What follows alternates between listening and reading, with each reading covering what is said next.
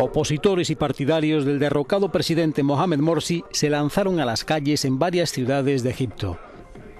En Mansura, tres personas murieron en los enfrentamientos.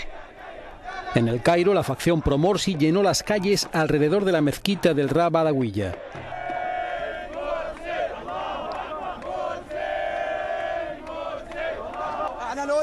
El presidente Morsi tiene que volver, es el presidente electo legítimo y su vuelta supondrá la vuelta de la constitución y de la seguridad. Seguridad para todos los egipcios en una sola mano.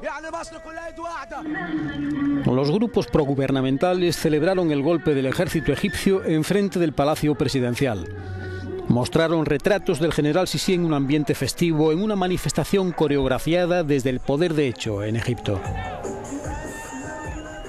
El sentimiento nacional egipcio y la libertad prevalecerán al final, pero si hay una facción política que quiere gobernar con derramamiento de sangre y conseguir sus objetivos con derramamiento de sangre, mostrarán la ausencia de democracia y de vida política en Egipto.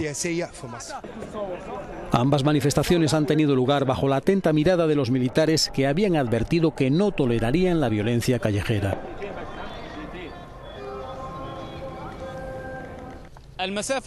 La distancia entre los manifestantes de la plaza de Rabia Dawiyya y el palacio Al Ittihadiyya no excede lo que es una calle de pocos metros.